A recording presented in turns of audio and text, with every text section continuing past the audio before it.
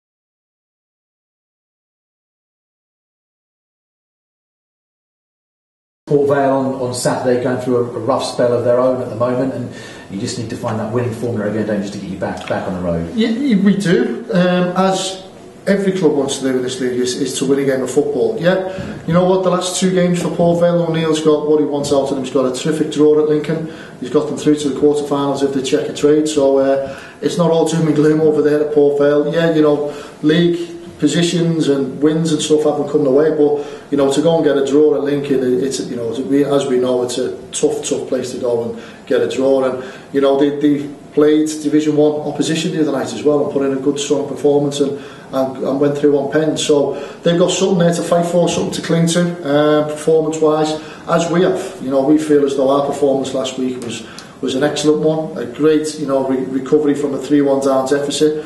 We've looked at the video, the analysis, and there is just that small 15 minute window where we've just fell asleep really. Um, but after that, you know, for fans and for performance wise, certainly value for money. We want the wins, obviously, but um, it's not all doom and gloom because listen, you know, we can dress numbers up how we want to dress them up. What is it, one win in six, you just said, or something like that. I look at it and think in the last nine games, I've won three, drew three, lost three. So it's how you see numbers in front of you, how you want to dress them up. You know me, I will always take the positive and I won't let anyone get down this club because listen, we, we've, we're a fighting club, we're a club of opportunity and uh, we want to give everything we've got.